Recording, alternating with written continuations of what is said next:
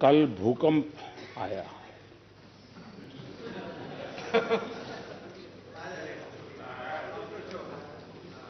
इस भूकंप के कारण जिन जिन क्षेत्रों में असुविधा हुई है,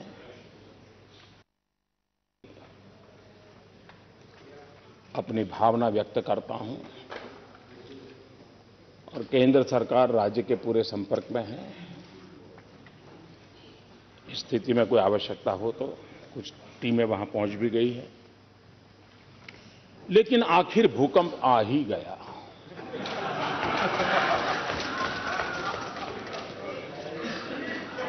मैं सोच रहा था कि ये भूकंप आया क्योंकि धमकी तो बहुत पहले सुनी थी।